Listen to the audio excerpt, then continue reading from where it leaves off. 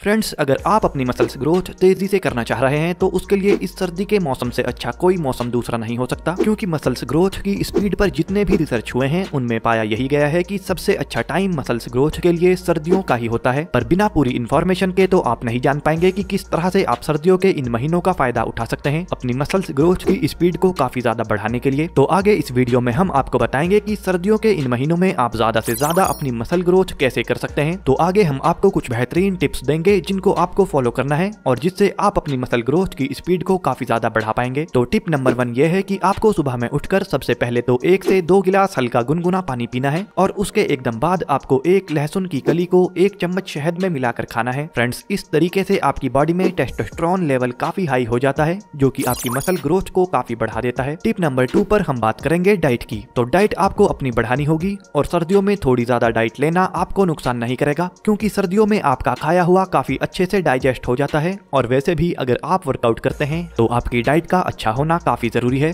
नहीं तो सर्दियों में भी आप अपनी मसल ग्रोथ नहीं कर पाएँगे। इसीलिए इस बात का ध्यान रखना है कि आपको अपनी डाइट में हाई कैलोरी वाले फ़ूड लेने हैं और आपकी डाइट में कार्बोहाइड्रेट की मात्रा भी ज़्यादा होनी चाहिए। पर फ्रेंड्स अगर आपकी बॉडी में फैट परसेंटेज ज़्यादा है, तब आपको हाई कैलोरीज और हाई कार्बोहाइड्रेट वाले फ़ूड ज़्यादा नहीं खाने। तो बहुत सारे फ़ूड ऐसे हैं जिनमें कार्बोहाइड्रेट और कैलोरीज ज़्यादा होती हैं और उनको आपको अपनी डाइट में ऐड करना है, क्योंकि जब आप वर्कआउट करते हैं, तब आपकी मसल ब्रेक होती है मसल के टिश्यूज ब्रेक होते हैं तो उन मसल्स की रिकवरी और ग्रोथ के लिए हमारी बॉडी को ज़रूरत होती है हाई कार्बोहाइड्रेट डाइट की, जैसे बनाना शकरकंद आलू, चावल और रोटी, ये सभी चीज़ें हाई कार्बोहाइड्रेट वाली होती हैं, जिससे कि तेज़ी से आपको मसल्स ग्रोथ अपनी बॉडी में देखने को मिलती है और कम टाइम में आप अपनी बॉडी बना पाते हैं। इसके बाद हमारी टिप नंबर तीन है डोंट टेक स्ट्रेस यानी कि फ्रेंड्स अगर आप ज़्यादा स्ट्रेस लेते हैं, काम का या फिर किसी दूसरी प्रॉब्लम का तो इससे भी आपकी मसल ग्रोथ पर अच्छा खासा फ़र्क पड़ता है। और ये बात हम ऐसे ही नहीं कह रहे हैं। ये बात भी काफ़ी सारी स्टडीज़ में साबित हो चुकी है। तो आप लोग सुबह में उठकर सिर्फ़ पाँच मिनट भी अगर मेडिटेशन करते हैं तो इससे पूरे दिन आपको स्ट्रेस फ्री रहने में मदद मिलती है। और इससे अलग, जब आप लोग वर्कआउट करें, तब आपको हाई स्ट्रेस अपनी बॉडी को देना है। मतलब की हाई इंटेंसिटी वर्कआउट आपको करनी है, जिसमें ज़्यादा वेट लेने की कोशिश आपको करनी है, जिससे आप लोग देखोगे की समय के साथ आपकी मसल्स ग्रोथ काफ़ी तेज़ी से होने लगेगी। चलिए, अब आपको वर्कआउट किस तरह से करना है, ये भी थोड़ा सा जान लेते हैं। तो भले ही आप घर पर एक्सरसाइज कर रहे हैं या फिर जिम में, आपको एक्सरसाइज से पहले वार्म अप कभी नहीं भूलना है और खासतौर पर सर्दियों में बॉडी का टेम्परेचर काफ़ी कम होता है। इस वजह से आपको चार से पाँच मिनट अच्छे से वार्म अप ज़रूर करना है और वार्म अप करने के बाद भी आपको हल्के वेट से एक्सरसाइज शुरू करनी है और फिर जब आपकी बॉडी अच्छे से हीट अप हो जाए यानी गर्म हो जाए तो उसके बाद ही आपको ज़्यादा वज़न के साथ एक्सरसाइज करनी है। और फ्रेंड्स एक्सरसाइज शुरू करने पर पहला सेट जो आप हल्के वज़न के साथ लेंगे, उस पहले सेट में आपको पंद्रह रेपिटेशन निकालने हैं। यानी इतना वेट आपको लेना है कि आप उससे पंद्रह रेपिटेशन ही निकाल पाए। उसके बाद जो अगले सेट आप लें, उसमें आपको इतना वज़न बढ़ाना है कि आप उस वज़न से ज़्यादा से ज़्यादा आठ से दस रेपिटेशन ही पूरे कर पाए। जब आप ऐसा करते हैं तो आपके मसल फाइबर ज़्यादा ब्रेक डाउन होते हैं, जिससे आपकी मसल ग्रोथ ज़्यादा अच्छे से होती है। तो आपको अपनी वर्कआउट में इसी तरह से सेट लेने हैं और वर्कआउट खत्म होने के 25 से 30 मिनट बाद ही आपको हाई प्रोटीन और कार्बोहाइड्रेट वाली डाइट लेनी है। हाई प्रोटीन के लिए आप अंडे या फिर बॉइल्ड चिकन या फिर काले चने भी ले सकते हैं। और कार्बोहाइड्रेट के लिए सर्दियों में शकरकंद काफ़ी अच्छी रहती है। इसके अलावा कार्बोहाइड्रेट के लिए आप आलू भी खा सकते हैं। और इससे अलग आप एक या दो केले भी खा सकते हैं। इस तरह की वेल बैलेंस डाइट हमेशा से ही बेहतरीन रिज़ल्ट देती आई है। तो आपको इस तरह की डाइट ही लेनी है। क्योंकि कार्बोहाइड्रेट और प्रोटीन मिलाकर अगर आप खाओगे, तब आप देखोगे कि आपकी मसल ग्रोथ तेज़ी से होने लगेगी। साथ में इस बात का भी ध्यान आपको रखना है कि जितना भी फ़ूड आप ले रहे हैं, उसमें ये भी ध्यान रखें कि विटामिन आपको आपकी बॉडी में पूरे मिल रहे हैं या फिर नहीं। अगर आप लोगों के शरीर में विटामिन की कमी होगी तो जितना भी प्रोटीन या फिर कार्बोहाइड्रेट आप ले लें, आपकी मसल ग्रोथ उतने अच्छे से नहीं हो पाएगी और प्योर मसल ग्रोथ के लिए आपको vitamin A vitamin B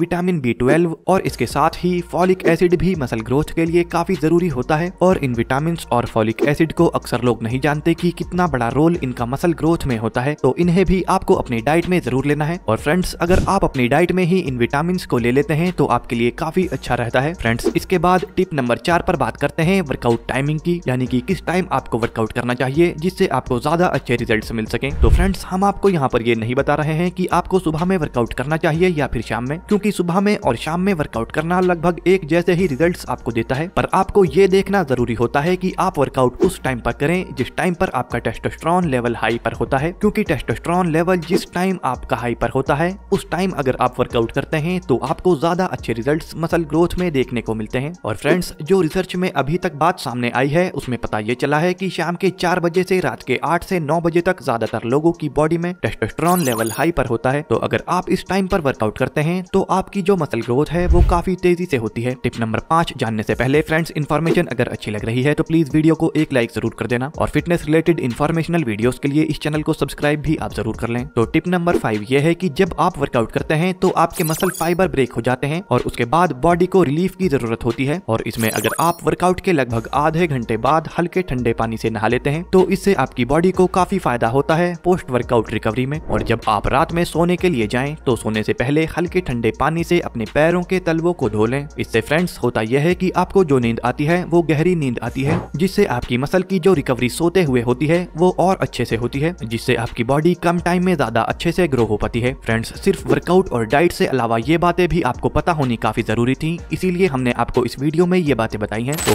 hopefully आपको अच्छे से समझ आ गया होगा। तो कमेंट करके अब आप हमें बताएँ कि आपको ये वीडियो कैसी लगी है। और अगली वीडियो आप किस टॉपिक पर देखना चाहते हैं, ये भी आप कमेंट करके ज़रूर बताएँ। Bye friends take care